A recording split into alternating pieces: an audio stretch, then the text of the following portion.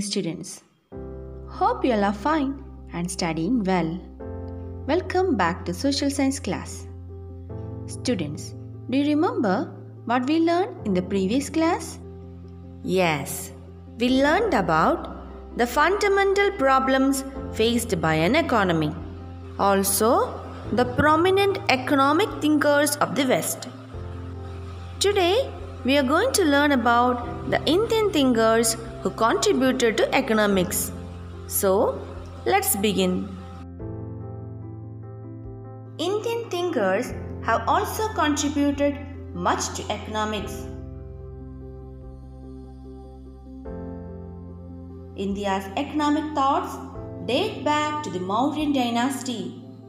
Chanakya, the chief advisor of Chandragupta Maurya, wrote the famous Arthashastra.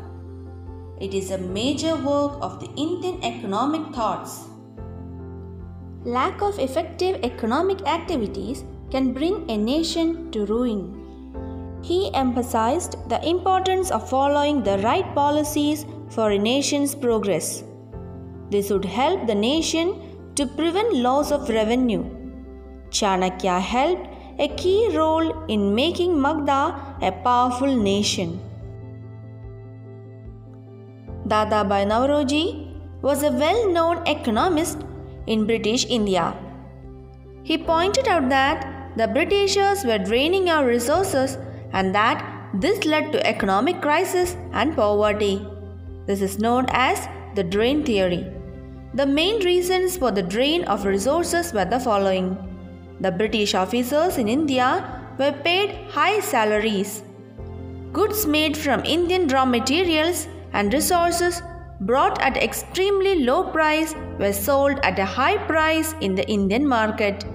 Indian wealth was robbed for expanding the British Empire. Indian laborers were treated as slaves and farm and industrial products were exported to England. The studies of Ramesh Chandra Dutt on British exploitation of India also strengthened the Indian economic thought.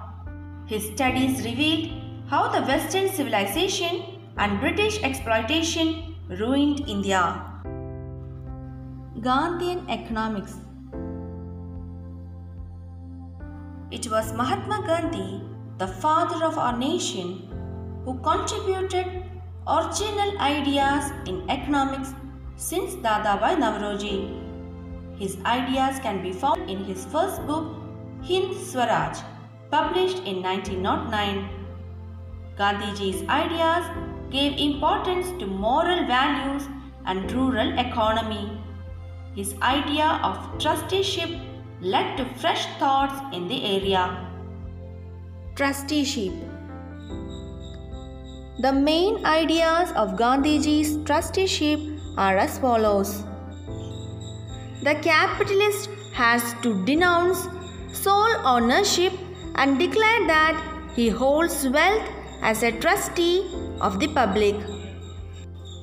A trustee has no other heir but the public. The nature of production is decided by the society and not by the individual's choice or greed. Just as we decide about minimum wages needed for a modest living, there must be a limit to maximum wage as well. Gandhiji aimed at an economy which is founded on truth and non-violence. We can compile his main ideas as follows. Priority to rural agricultural system. Emphasis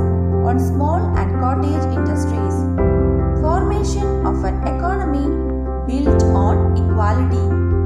A self-sufficient and self-reliant local economy. Many Indian economists were impressed by the economic ideas of Gandhiji. Economists like J.C. Kumarappa, Sriman Narayan and Dharampal wanted independent India's development to give priority to agriculture and small-scale industry. Amartya Sen is an Indian economist who received the Nobel Prize for Economics in 1998. His famous work covered vast areas like welfare economics, economic inequality, and development.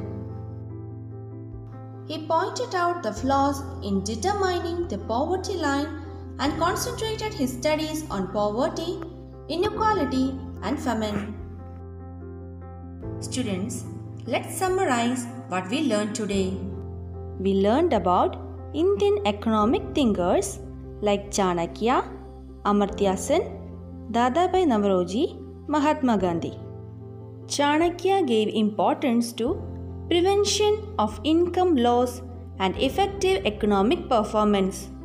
Amartya Sen, welfare economics. Dadabhai Naoroji, drain theory. Mahatma Gandhi, trusteeship. We have discussed the contributions made by some leading Indian economists during the various stages of development of economics. Such thoughts influence the economic policy formulation of the country. Economics is a constantly growing area of study. Its study enables us to find solutions to socio-economic problems and to understand the emerging world economic conditions. Hope you all understood what we learned in this unit. We will meet in the next class with a new unit. Study well. Thank you.